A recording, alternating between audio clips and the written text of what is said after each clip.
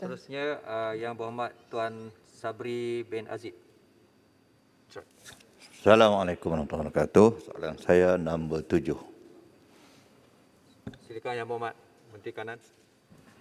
Datuk Yang di-Pertua, pada 20 Jun 2021, Kementerian Pendidikan Malaysia telah mengumumkan pengambilan khas seramai 18,702 orang pegawai perkhidmatan pendidikan PPP grade 4 DG 41 secara one-off bagi mengisi kekosongan guru di sekolah.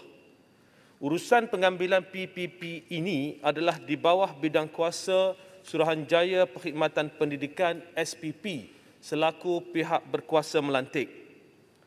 Dari segi kriteria pemilihan, keutamaan akan diberikan kepada graduan yang mempunyai kelayakan ikhtisas pendidikan daripada universiti awam, UA, universiti swasta dan juga universiti luar negara untuk dilantik secara tetap.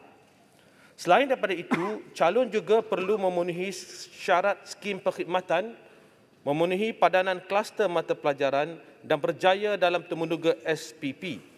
Temuduga tersebut menilai kompetensi umum seperti sikap, penampilan diri, pengetahuan am dan kompetensi fungsional seperti kandungan mata pelajaran dan pedagogi.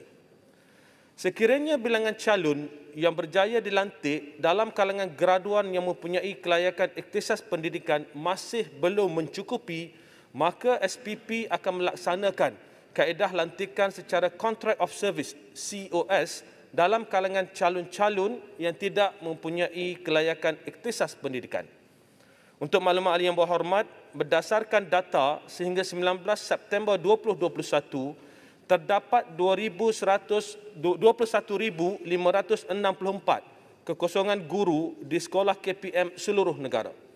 Dengan pengambilan dengan mengambil kira pengambilan one off tersebut, baki kekosongan 2862 akan diisi melalui proses lantikan biasa secara berterusan oleh SPP.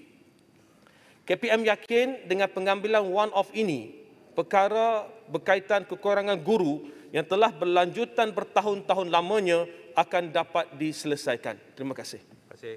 Soalan tambahan pertama. Terima kasih atas jawapan dan uh, saya ingin merujuk kepada data terkini sistem pertukaran uh, guru. Setakat 19 September 2021 menunjukkan seramai 6,621 orang guru yang memohon masuk ke negeri tertentu dan seramai 7,499 orang guru memohon untuk keluar dari negeri tertentu. Apakah strategi KPM bagi memastikan penempatan 18,000 orang guru baru ini selari dengan permohonan pertukaran guru pada sesi semasa dan sekaligus dapat menyelesaikan masalah guru duka lara yang sedang merayu agar suara mereka turut diberi perhatian. Sekian. Terima kasih Yang Berhormat. Silakan Yang Berhormat Menteri. Terima kasih Yang Berhormat.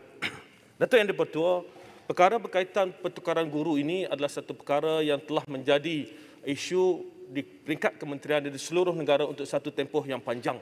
Maka di peringkat kementerian kami sedang merangka satu perancangan untuk melihat bagaimanakah kita dapat melaksanakan pertukaran guru ini dengan pendekatan yang lebih menyeluruh.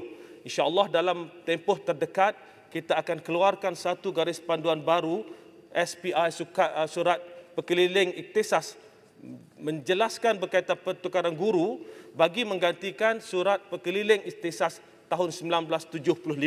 Jadi insyaAllah kita susun balik, kita akan lihat balik pertukaran guru dan seperti mana yang disebut oleh Yang Berhormat tadi, kita akan ambil kira dalam kemasukan 18,000 yang baru ini, kita akan jajarkan dengan pertukaran yang dipohon namun begitu kita perlu pastikan bahawa sebarang pertukaran itu dibuat berdasarkan keperluan di setiap sekolah yang ada. Terima kasih. Terima kasih.